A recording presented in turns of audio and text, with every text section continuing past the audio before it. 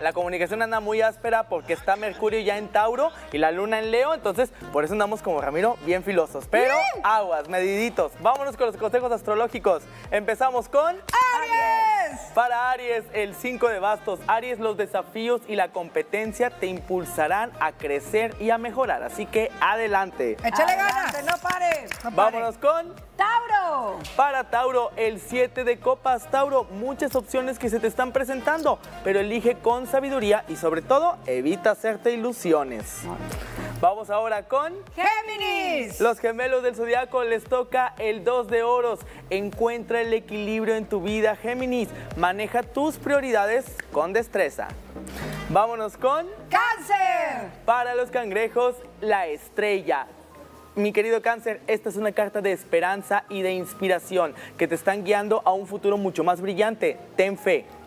Seguimos ahora con ¡Leo!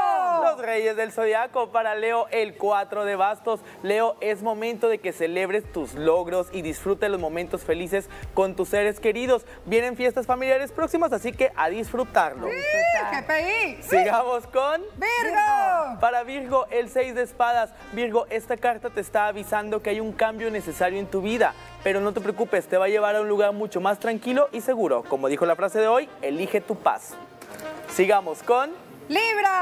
para Libra, el 9 de espadas. Mis queridos Libras, enfrenten los miedos y ansiedades para que encuentren la paz interior. No hay nada malo de enfrentarse a uno mismo.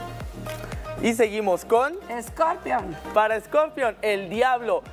Mira, mi querido escorpión, confronta tú también y libérate las ataduras que te limitan, pero sobre todo, eh, quítate las cadenas que tú mismo te has puesto para que siga tu crecimiento personal.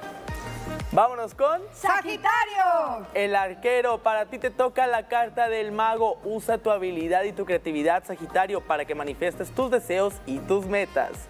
Vamos a seguirle con... ¡Capricornio! Y para Capricornio, el 6 de copas. Esta es una carta de nostalgia. Conéctate con el pasado, mi querido Capricornio, para que disfrutes de los recuerdos que te dan tanta alegría. Seguimos con los guapos. ¡Acuario! Éjale. Acuario, el 3 de bastos. Amplía tus horizontes y explora nuevas oportunidades y aventuras. Abre tu mente, Acuario. Y cerramos con las más bonitas. ¡Ay, gracias! ¡Piscis! Para Piscis, la carta del mundo. Piscis, hay un ciclo que se está completando, pero te está trayendo éxito y sobre todo una sensación de plenitud. Merécetelo. ¡Uy!